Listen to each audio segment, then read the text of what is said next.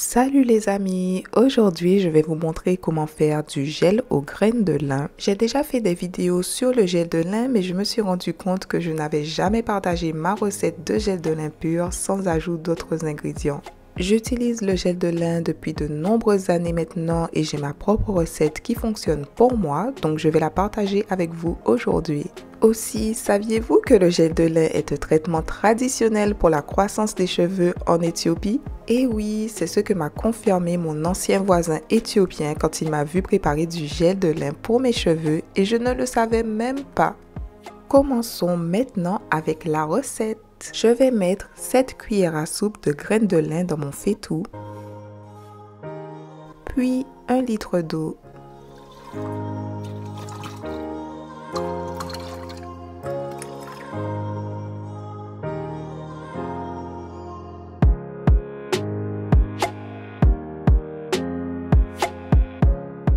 Ensuite, je mets le faitout sur le réchaud et porte le mélange à ébullition.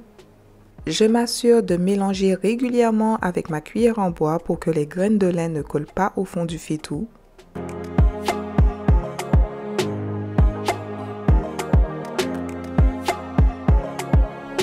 Le film blanc qui se forme sur la surface de l'eau indique que le gel commence à se former. Le gel de lin contient beaucoup de micronutriments dont il a été prouvé qu'ils favorisent la croissance des cheveux et les rendent plus épais. On retrouve par exemple des antioxydants et la niacine, également connue sous le nom de la vitamine B3. Le gel de lin a également des propriétés anti-inflammatoires et antifongiques. Je laisse bouillir le mélange pendant environ 10 minutes. Vous pouvez laisser bouillir le mélange pendant 10 à 15 minutes, mais ça prend généralement moins de 15 minutes pour créer le gel.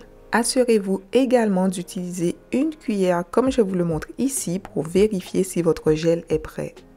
Ensuite, je retire le faitout du feu et je laisse refroidir un peu mais pas trop pour pouvoir filtrer le mélange plus facilement.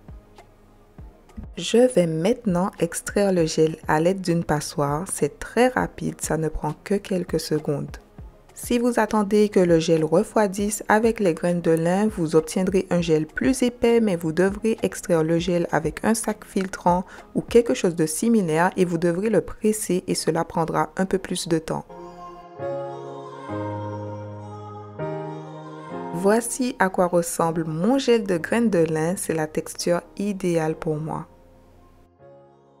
Au fait, vous pouvez également faire du gel de lin avec de l'eau froide. Il suffit d'ajouter dans un bol une demi-tasse de graines de lin et 2 à 3 tasses d'eau. Remuez bien et laissez le mélange reposer pendant environ 24 heures à température ambiante et encore 24 heures au réfrigérateur.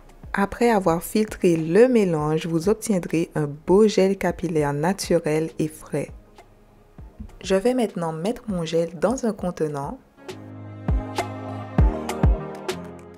Vous pouvez le conserver au réfrigérateur pendant 2 à 3 semaines. Si vous souhaitez rallonger la durée de conservation de votre gel de lin, vous pouvez ajouter des conservateurs naturels tels que l'extrait de pépins de pamplemousse ou l'extrait de romarin.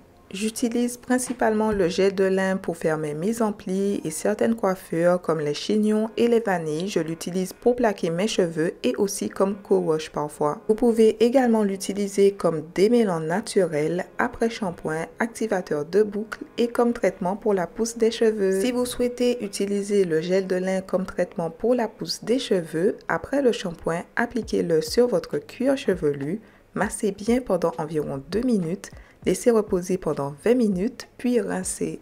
Le gel de lin va nourrir et stimuler vos follicules pileux, hydrater votre cuir chevelu et vous donner des cheveux doux et brillants.